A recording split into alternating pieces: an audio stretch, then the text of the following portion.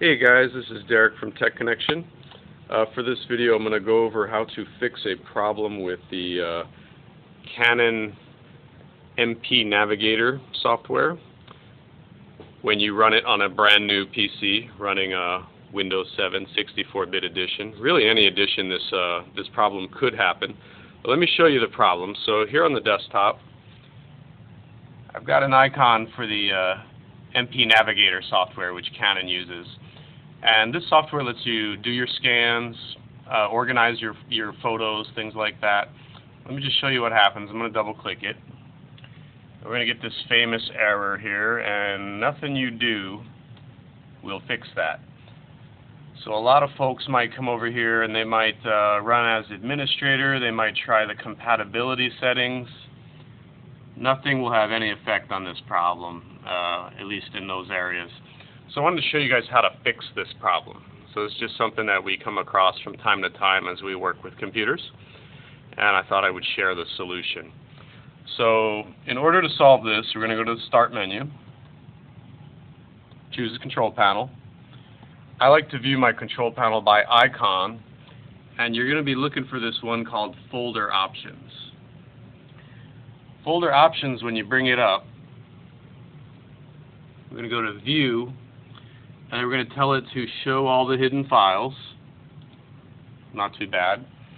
And then I'll just minimize this for a second because we'll want to turn that back on afterwards. Now where I'm going, I'm going to go back to my Start menu and I'm going to click my username. And when I have the invisible items turned on, there's a bunch of extra things, but one in particular, app data. This is the one that I want.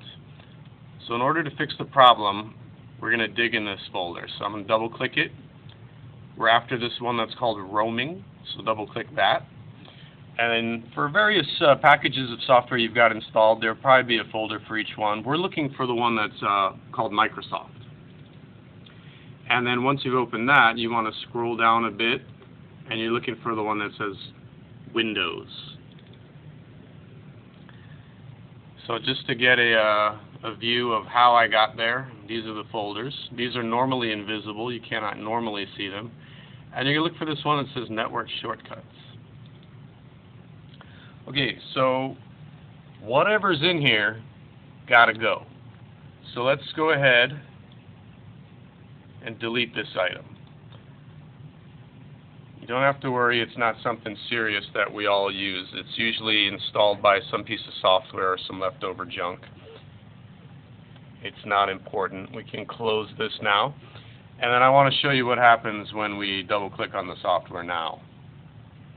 Oh, look at that. That's what we wanted to see. Maybe you've been looking for that for hours if you've experienced this problem. So now that we've solved our issue, the program will work normally. I'm going to restore my control panel, go back to folder options, and then I'm going to not show those items again. And then that'll hide those folders so that no one else uh, accidentally throws away a deleted system, you know, a secret file or something like that. They're usually hidden for a good reason. We don't want the thing to uh, accidentally be deleted in the future if we forget that we turn that on, so we turn it off. Okay, so that's the solution. If you've got that problem with your Canon scanner, follow those steps. You should be good to go. If you find anything else wrong, maybe leave me a comment, something like that. Thanks for your time. Appreciate it, guys. Bye-bye.